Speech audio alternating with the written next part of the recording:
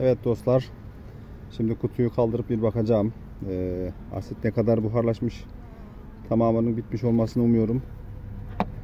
Sonra da çekmeceyi kontrol edeceğiz. Şimdi değerli dostlar şöyle bakalım.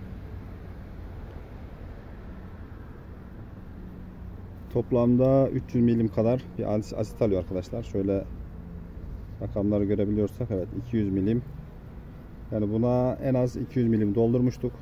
Şu anda kalan miktar ne kadar? 50 milim. Yani 50 milimden bir miktar fazla kalmış arkadaşlar. Yani 150 milim kadar asit buharlaşmış. Görüldüğü gibi arılar gayet rahat.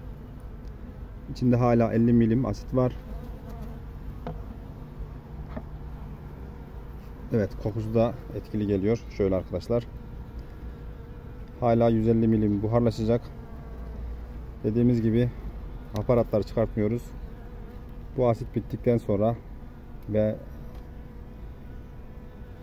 arılar da biraz çalışsın istiyoruz. Yani dışarıya odaklansın, yoğun çalışsınlar istiyoruz. Dışarıda şu anda bol çiçek var. Hem polen hem de bal geldiğini görüyoruz. Tabi bunlar hepsi arıların kış hazırlığı. Yine bir daha besleme yapacağız. Tekrar asit vereceğiz. Dolayısıyla aparatlarımızı çıkartmıyoruz. Ee, bir de alttan bakalım ne kadar varroa düşmüş arkadaşlar.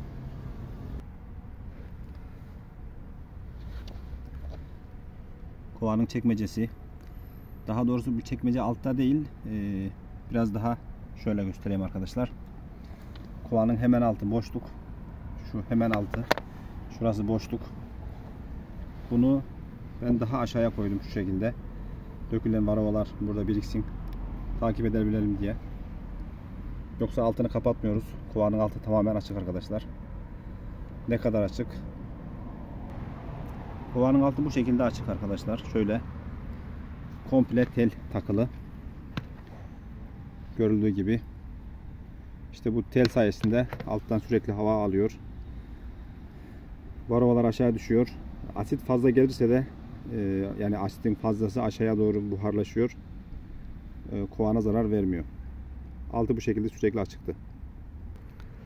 Çekmeceyi beraber izleyelim arkadaşlar. Şöyle dökülen varroaları görüyoruz.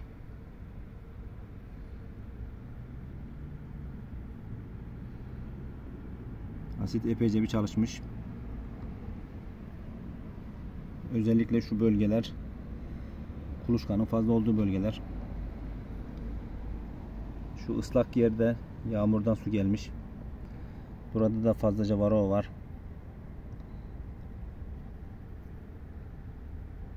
Aralarda canlı varroalar da görülüyor. Sabahtan baktığımda bir miktar varroa vardı arkadaşlar.